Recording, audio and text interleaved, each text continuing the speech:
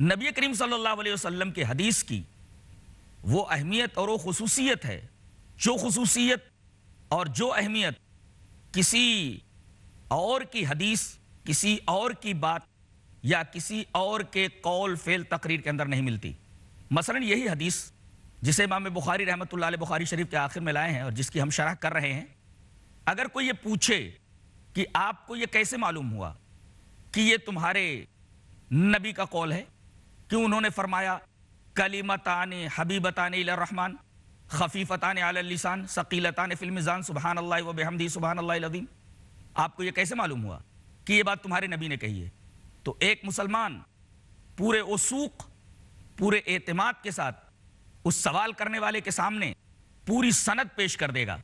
मसलन, मुझे से कोई ये कहे कि आपने जो ये हदीस बयान की है, आपके पास क्या सबूत है कि ये आपके नबी की बात है तो मैं उसको इस तरीके से जवाब दूँगा कि यह हदीस बुखारी शरीफ की है। और मैंने बुखारी शरीफ पढ़ी है अपने उस्ताज मौलाना सईद अहमद पालनपुरी से। उन्होंने बुखारी शरीफ पढ़ी है फ़खरुद्दीन मुरादाबादी से।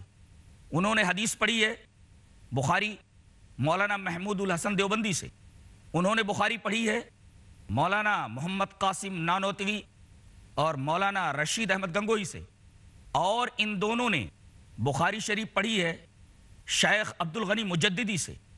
और शेख अब्दुल गनी मुजद्दी ने बुखारी शरीफ पढ़ी है शाह इसाक दहलवी से। शाह इसाक दहलवी ने बुखारी शरीफ पढ़ी है शाह अब्दुल अज़ीज़ मुहदस दहलवी से।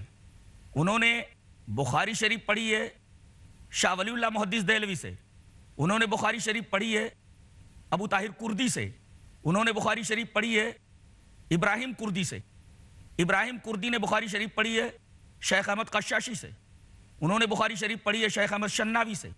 उन्होंने बुखारी शरीफ पढ़ी है, मोहम्मद रमली से। उन्होंने बुखारी शरीफ पढ़ी है, जकरिया अंसारी से। उन्होंने बुखारी शरीफ पढ़ी है, हाफिज इब्न हजर असकलानी रहमत से। उन्होंने बुखारी शरीफ पढ़ी है, इब्राहिम तनूखी से। उन्होंने बुखारी शरीफ पढ़ी है, अहमद इबन अबी तालिब से।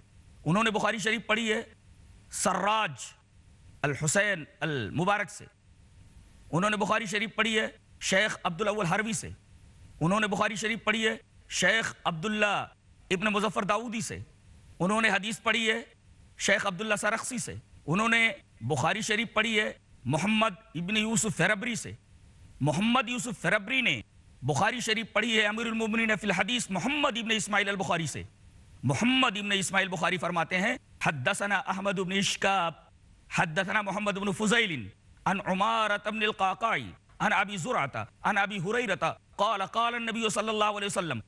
कलिमतानी हबीबतानी रहमान खफीफतानी लिसान सकीलतानी फिल मीज़ान सुबहान अल्लाह व बिहमदी सुबहान अल्लाह अज़ीम नाजरीन कराम आपने देखा कि मुझसे ये सवाल किया गया कि ये जो हदीस आपने पढ़ी है आप ये कैसे कह सकते हैं कि ये हदीस आपके प्रोफेट मोहम्मद सल्लल्लाहु अलैहि वसल्लम की है तो मैंने खुद से लेकर के जनाब मोहम्मद रसूलुल्लाह सल्लल्लाहु अलैहि वसल्लम तक सनद उसके सामने पेश कर दी।